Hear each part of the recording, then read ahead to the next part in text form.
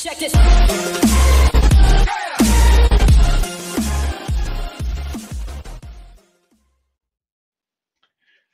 So um, we are today a couple of days after uh, Mathieu van der Poel, MVDP's miraculous, fabulous uh, win in the Amstel Gold Race last Sunday, and I got um, intrigued by a um, image that was sent to me with some of the power data of Mathieu in um, his final kilometer, the sprint of this uh, super finish, where he uh, came back uh, basically out of nowhere to overtake uh, people like uh, Alaphilippe uh, for the win, uh, which was considered one of the most spectacular uh, finishes, I would say, in the last 10 years in cycling history. So on the Facebook page of uh, Corendon Circus, his team, um, the stats were published by Wahoo, so let me zoom in a little bit on that. So this is what I'm talking about here. So in the last 800 meters, obviously he finished first. Speed 59 kilometers an hour, max 67, 830 watt average for a 105 average cadence.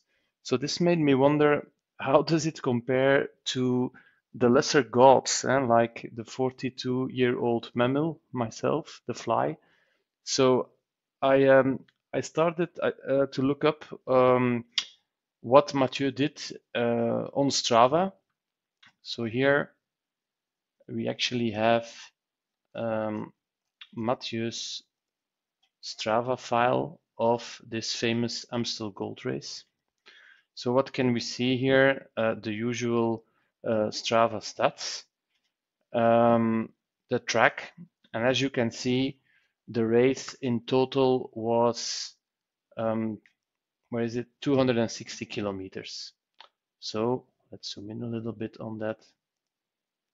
Like that. Okay.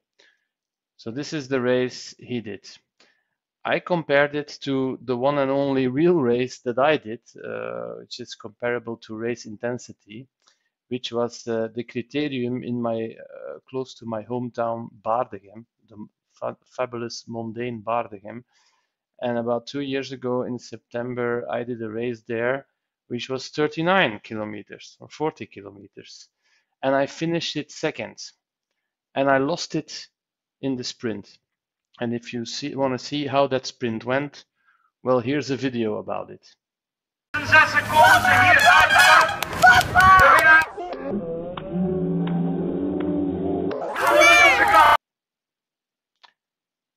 Right, so as you can see, I lost the sprint probably by about uh, 20 centimeters, but I do know that was one of my strongest power outputs for about um, 30 seconds.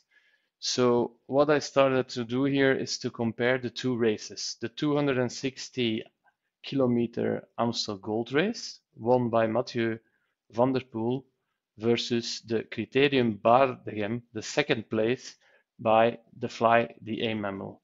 So let's first have a look at this fabulous sprint of Mathieu. So if we go, thanks to the Strava Elevate ex, um, Chrome extension, to best splits, we can see here that on 30 seconds, Mathieu, all the way in the end of the race, averaged 926 watts for an averaged heart rate of 102 beats per minute and an average cadence of 111. So how does that compare to my sprint uh, in the criterium? Let's have a look. So on 30 seconds, I did 842 watts. And as you can see, it was indeed at the end of the race, near the finish. I did that at a heart rate of a whacking 196 beats per minute, which is very, very high for me as an average for certainly over 30 seconds, at an average cadence of 104. Now remember, with me it was a sprint after a race of 40 kilometers. With Mathieu, it was a sprint in a race 100, uh, sorry, 260 um, kilometers. if we compare the overall stats of the race, so apart from the distance, uh, we can also have a look at the um, normalized power.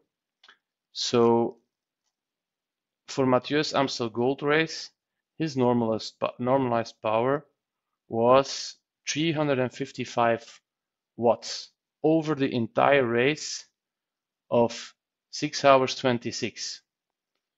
In my case, the race lasted, where is it? 1 hour and 2 minutes, and I had a normalized power of 323 watts. What else can we compare? So apart from the sprint all the way in the end, which I consider to be a 30 second effort, what if we look at the best five minutes in both races?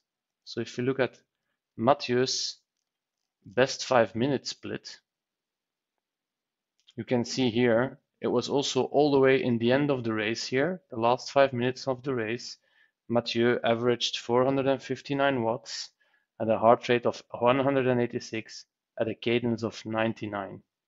If I look at my five best minutes in my race, so again, a lot shorter race, of course. Let's have a look. So it was also in the last five minutes and I did 368 watts at a heart rate of 179 at a cadence of 79. So what do we learn about all of this? Well, obviously, Mathieu van der Poel is a lot better cyclist than I am. How much better? Well, let's indeed have a final look um, at those figures. The distance of the race, I did 15% of the distance, uh, 40 kilometers versus 260 kilometers. My normalized power, however, although it was of course a race of only one hour versus the six and a half hours of Mathieu's, was at 91% of MVDP's normalized power. My sprint power, and again, I'm not a very good sprinter, over 30 seconds was 842 versus the 926 of Mathieu. So also that was 91% of Mathieu's effort. And then the best five minutes, which happened to be in the last five minutes of the race for the both of us. I did 368, Mathieu did 459, and that's a mere 80% of um, the effort. So, so, this gives you a bit of a glimpse on how a um, pro rider, a top talent like MVDP compares to a pure amateur cyclist like myself, The Fly.